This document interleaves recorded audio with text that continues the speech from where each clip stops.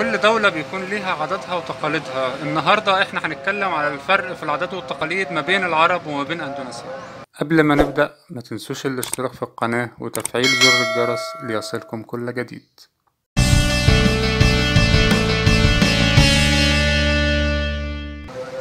أول حاجة لاحظتها هنا في أندونيسيا أول ما جيت القعدة أغلب الأندونيسيين بيحبوا إن هما يقعدوا على الأرض.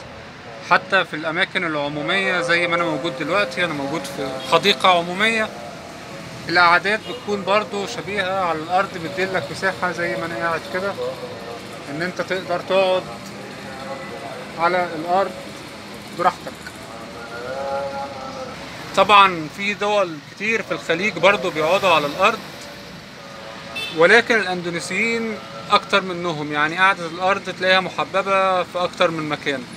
لدرجة إن في كافيتريات هي بتكون قايمة على القعدة الأرض دي. الشعب الأندونيسي بياكل بإيده. وطبيعي إن أنت لو دخلت أي مطعم هتلاقي الناس بتاكل الرز بإيدها. فأنت بالنسبة لك لو أنت محتاج معلقة أنت اطلب معلقة. لأن مش كل المطاعم أو مش كل العربيات الأكل اللي موجودة في الشارع هتقدم لك معلقة. في بعض الأوقات مش هيقدمها لك إلا إذا أنت طلبتها. طبعا المطاعم الراقية شوية هيقدم لك طبعا كل حاجة معلقة وشوكة وسكينة وكل شيء. ولكن إحنا بنتكلم على المطاعم الشعبي أو الأماكن الشعبية. طبعا الحمام هنا عربي وما فيهوش شطافة. وربما هم يكونوا أخدوه مننا. مش عارف أنا المعلومة دي. ولكن بعض الأقوال بتقول إن ده أفضل وأنظف وأحسن. عموما في في أنواع حمامات تانية ولكن أغلب الحمامات اللي منتشرة في آسيا عموما هي الحمامات العربي. هنا أنت في جنوب شرق آسيا يعني أرض الرز. الرز بياكلوه فطار وغدا وعشاء. مش معتمدين على العيش زينا. انسى موضوع العيش ده. الفطار رز وأي حاجة جنبيه الغدا كذلك العشاء كذلك. بيعملوا حلويات من الرز بيعملوا snacks من الرز.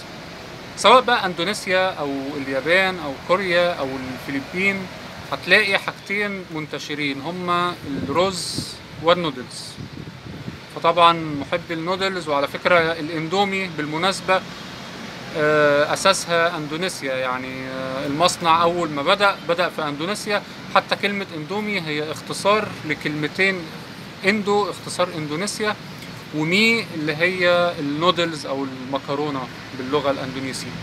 فإندومي دي اختصار مكرونة اندونيسي لسه برضو بالنسبة للأكل لأن طبعا المطبخ الأندونيسي مميز الشطة.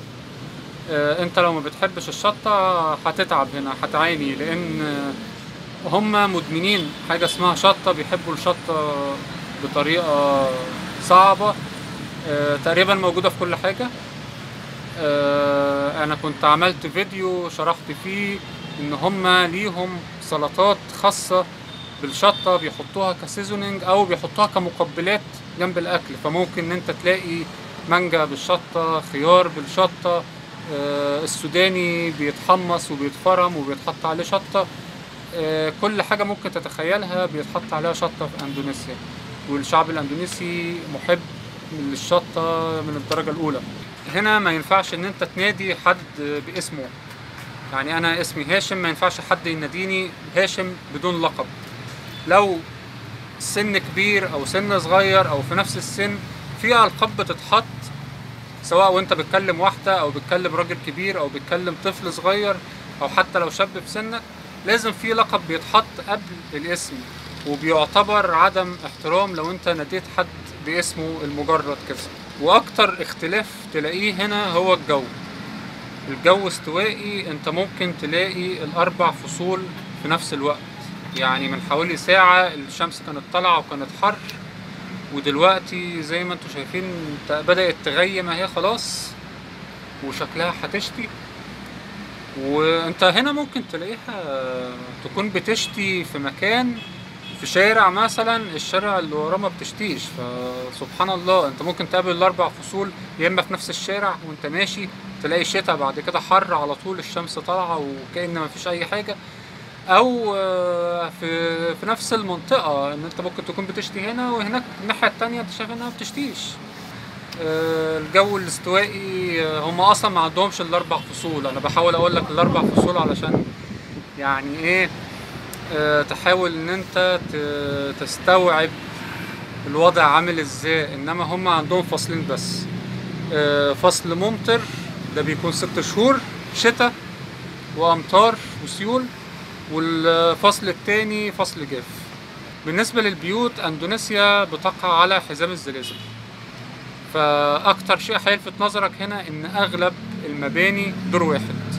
دورين بالكتير في المدن زي جاكرتا أو سرابايا آه بيطلعوا بمباني أعلى شوية ولكن أنا بتكلم على أغلبية الدولة ككل مش بتكلم على مدينة معينة أو منطقة معينة لأن طبعا هم في حزام الزلازل ربنا يحفظنا ويحفظهم فبيحاولوا إن هم يعملوا البيوت دور واحد زي ما أنت شايف المبنى اللي ورايا ده مثلا ده بيتكون من دور واحد.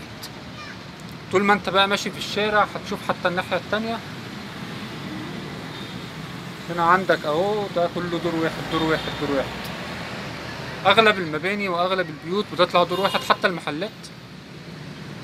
بيحاولوا إن هم يعملوها دور واحد والسبب إن هي تصد قصاد الزلازل أكتر طبعا من المباني العالية لأن حتى لا قدر الله لو حصل أي حاجة الضرر يحاولوا يقللوه على قد ما يقدروا. يعني إن الضرر يكون قليل. ده كان فيديو سريع عن الاختلاف ما بين اندونيسيا والدول العربية. أتمنى إن أنتوا تكونوا استفدتوا. لو في أي حد له سؤال اسأله في التعليقات. ما تنسوش ال like وال share.